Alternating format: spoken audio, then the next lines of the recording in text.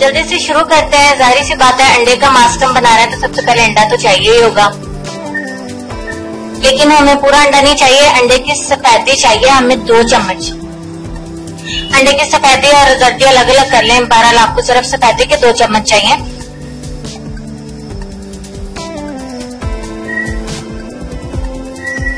अंडा कोई सा भी आप इस्तेमाल कर सकते हैं, क्योंकि मुझे पता है कमेंट्स में कुछ लोग ये भी पूछेंगे। कि अंडा देसी चल सकता है तो अंडा देसी भी चल जाएगा, टेंशन की बात नहीं है। अच्छा जी, दो चम्मच मैंने अंडे की सफेदी की ले ली, अब इसमें बाकी चीज़ें ऐड करने वाली जरा तवज्जो से देखिएगा। सबसे पहले मेरे पास मैदा है, आप मुल्तानी मट्टी भी इस्तेमाल कर सकते हैं। आपने तकरीबन एक चम्मच इसमें मैदे का डालना है, या आप जितना ज़्यादा बनाना चाह रही हैं, उस हिसाब से एक, डेढ़ चम्मच जो है वो इसमें मैदे का आप शामिल कर लें। उसके बाद जो हम इसमें तीसरी चीज़ शामिल करने वाले हैं वो है शहद। जिन लोगों को शहद सूट नहीं करता, वो उसको ना डालें। लेकिन अगर डालें तो आपका रिज़ल्ट जो है वो बढ़ जाएगा। आधा टीस्पून सिर्फ़ ज़्यादा शहद नहीं डालेंगे इसमें। तीन चीज़ें हो गई। चौथे नंबर पर इसमें मैं ऐड करूँगी बेकिंग सोडा खाने वाला सोडा जो खाना पकाने में इस्तेमाल होता है। आधा टीस्पून अगर आप इसे अपने हाथ पाँव पे इस्तेमाल कर रही हैं तो पूरा टीस्पून शामिल करें गर्दन के लिए भी, पूरा टीस्पून इस्तेमाल करें चेहरे के लिए आधा टीस्पून अब मेरे पास आधे लीमू का रस इसमें ऐड करूँगी मैं। आधा लीमू से जितना भी रस निकलेगा, आप इसमें ऐड कर दीजिए। तकरीबन एक या डेढ़ चाय वाला चम्मच इसमें से निकल आता है टी स्पून यानी तो वो आपने इसमें ऐड कर देना तमाम चीज़ें जब आप इसमें शामिल करेंगे तो आप देखेंगे कि ये ब्लीच की तरह फूलना शुरू हो जाएगी, जिस तरह से ब्लीच क्रीम फूल के फॉर्म की शक्ल में आ जाती है। इसी तरह से ये ब्लीच भी हमारी होममेड ब्लीच बनेगी। फिर उसके बाद आपको बताते हैं कि आपने इसको फोरी अप्लाई नहीं करना। जैसे जैसे आपने इसको अच्छी तरह से मिक्स करना है, ताकि ये यकजान हो जाए।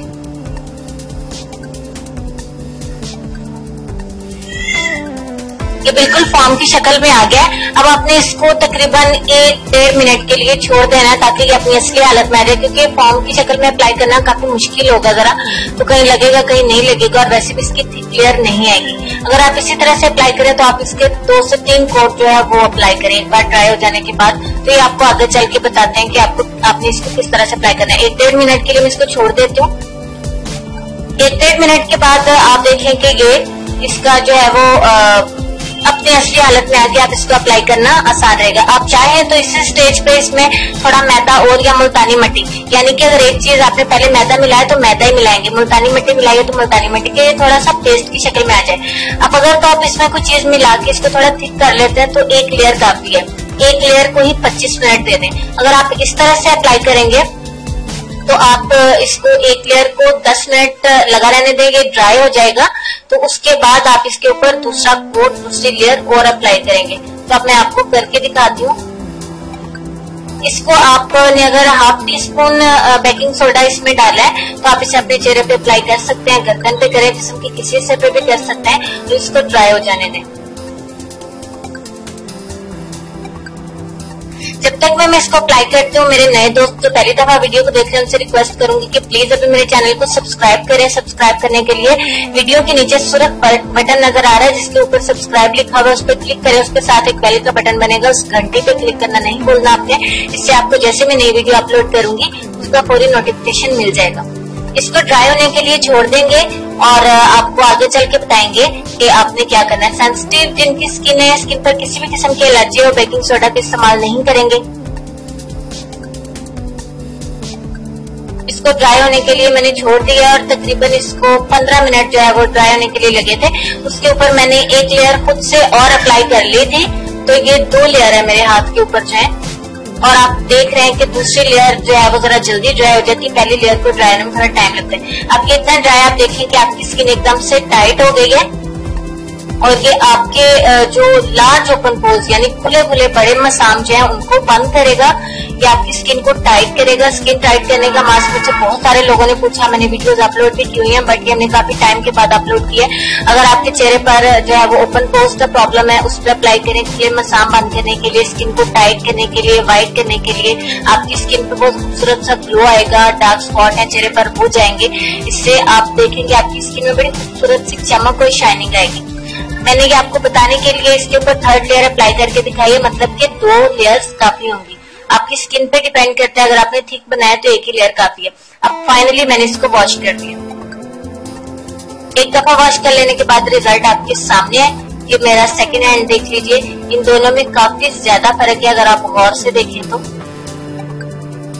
लेफ़्ट हैंड मेरा काफ़ी फ्रेश नज़र आ रहा है और काफ़ी फेयर है राइट के निस्बत और एकदम से आपकी स्किन पे ग्लो आएगा, चेहरे पर अप्लाई करें, चेहरे पर भी इसी तरह का ग्लो आएगा। अब ये लास्ट में मेरे पास सूथिंग लोशन मैं तकरीबन आप लोगों को बता चुकी हूँ कि इसका मेरा कोई खास कनेक्शन है। तो जिन लोगों को ये नहीं मिलता, वो किसी भी व्हाइटनिंग लोशन से जो है अपने हाथ पर मसाज कर सकते हैं। तो ये सूथिंग लोशन से अगर आप मसाज लास्ट पे ब्लीच करें फेशियल वगैरह करें पॉलिशिंग करें तो आप ये लाजमी है कोई होममेड ब्लीच या कुछ भी आप उपटन वगैरह अप्लाई करते हैं तो उसके बाद लाजमी इसका मसाज करें। इससे इचिंग नहीं होती, खारिश नहीं होती स्किन रेड नहीं होती रैशेज नहीं होते स्किन पे, या किसी किस्म की कोई जलन महसूस नहीं होती आपको। और ये वैसे भी ब्लीच में शामिल करो तो आपकी ब्लीच का रिज़ल्ट डबल कर देता है।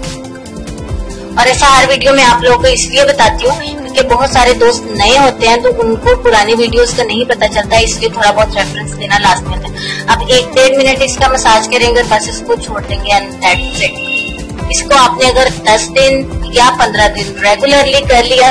तो मेरा ख्याल है कि उसके बाद आपको किसी भी व्हाइटनिंग टिप व्हाइटनिंग मास्क या क्रीम की ज़रूरत नहीं पड़ेगी। लेकिन आपने ये नहीं कि एक दफ़ा रिज़ल्ट आ गया तो इसको छोड़िए कुछ ना कुछ स्किन पर अप्लाई करते रहना चाहिए बट अच्छे वाला। यहाँ पे भी आप इसका फ़र्क देख सकते हैं दोनों हाथों में। तो आप इवन के सिर्फ़ तिब्बत क्रीम भी रात को लगाते रहे या पैरन लगती रहे बट लगाते रहे ताकि आपकी स्किन के ऊपर जो रिज़ल्ट है वो बरकरार रहे और धूप, छाव से मट्टी डस्ट और किचन में हम काम करते हैं, चूल्हे के करीब जाने से स्किन जो डैमेज होती है वो नहीं और आपकी स्किन साथ के साथ रिपेयर होती रहे उम्मीद करती हूँ कि ये बात आपको समझ में आ गई होगी कि इसी को परमानेंट व्हाइटनिंग कहते हैं, क्योंकि आपको फिर कोई खास टेंशन नहीं लेनी पड़ती है स्किन पे ग्लो लाने के लिए, उसको व्हाइट एंड ब्राइट करने के लिए कि अगर हम उसकी केयर करते रहें। अगर एक दफ़ा रिज़ल्ट मिल गया और छोड़ दिया तो आप ये बताएँ कि एक दफ़ा कपड़े पहन लेने के बाद उसको एक साल वॉश ही नहीं करेंगे तो ज़ाहिर सी बात है गंदा तो हो गई। उम्मीद करती सादा सी मिसाल से भी आपको समझ में आ गया होगा तो इसे आज का लेसन मत समझिएगा, क्योंकि ये लेसन नहीं था लेसन की तरफ़ हम आप जाएँगे।